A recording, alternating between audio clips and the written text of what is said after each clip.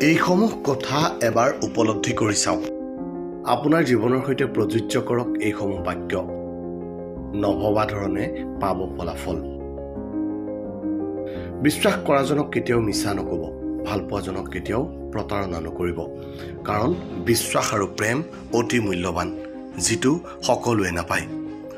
সুযোগটো আমি যিখিনি পাওঁ সেয়া নহয়।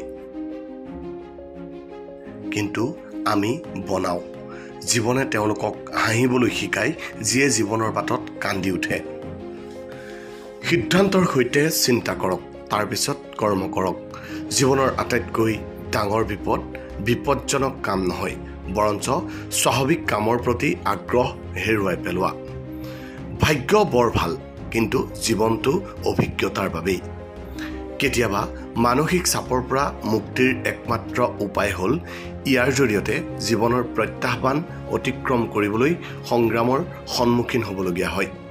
বহু সময়ত যুদ্ধই আমাক এটা পাঠ শিকাবলৈ সহায় কৰে। হয় আমি সেই শিক্ষাৰ পৰা শিকিব পাৰোঁ নহয় অস্বীকাৰ কৰিব পাৰোঁ।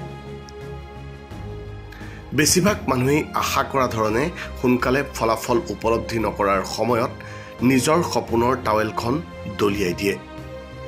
সপোন এটা পূৰণ কৰিবলৈ বহু কষ্টৰ প্ৰয়োজন হয় আৰু আপুনি আশা কৰা উচিত যে প্ৰক্ৰিয়াটো দীঘলীয়া হ'ব কিন্তু পুৰস্কাৰজনক হ'ব। বিফলতা মাথো এটা বাধা আৰু ইয়াক বিজয়ী কৰি তুলিবলৈ ইয়াক পাৰ হ'ব লাগিব।